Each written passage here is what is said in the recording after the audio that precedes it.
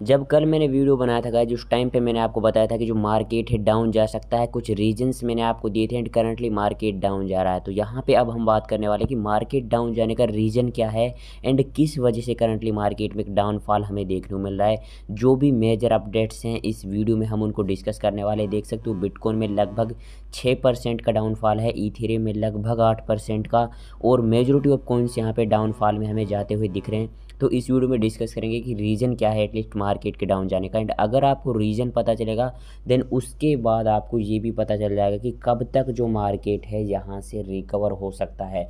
तो ये वीडियो काफ़ी इंपॉर्टेंट होने वाला अगर आपने क्रिप्टो में इन्वेस्टमेंट किया हुआ तो वीडियो को लाइक नहीं किया तो लाइक कर सकते हो। सबसे इंपॉर्टेंट अगर आपने अभी तक हमारे टेलीग्राम ज्वाइन नहीं किया है ज्वाइन कर सकते हो।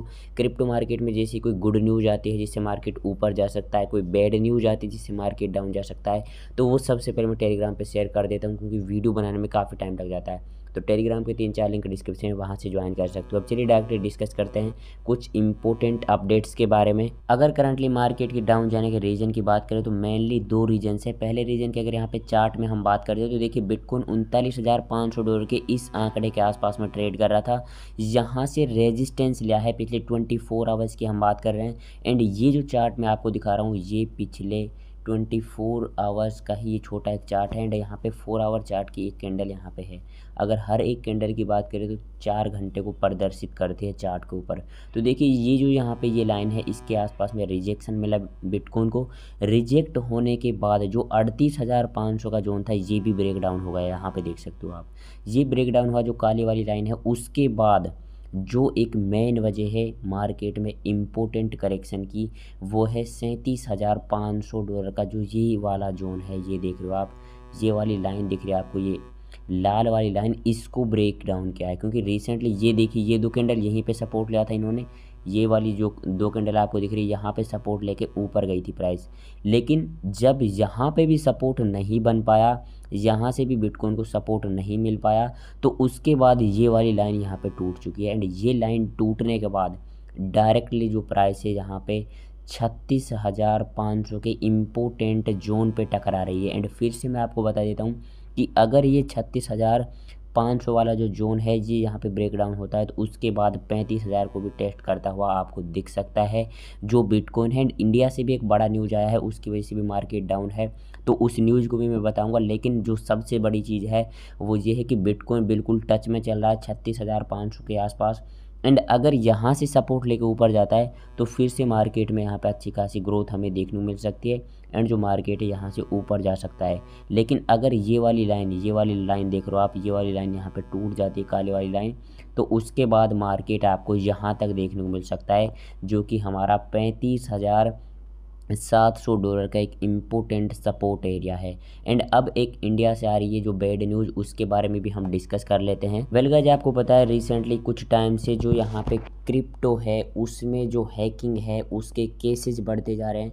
एंड रिसेंटली इंडिया के अंदर भी एक ऐसा ही केस आया, देख सकते हो इंडियन पुलिस अरेस्ट ग्यारह people in crypto currency scheme defrauding 2000 investors तो लगभग 2000 इन्वेस्टर्स को फ्रॉड किया है. 11 लोगों ने उनको यहाँ पर रिसेंटली इंडिया के अंदर अरेस्ट किया गया है. एंड ये जो एक बहुत बड़ा बैड न्यूज़ आ रहा है.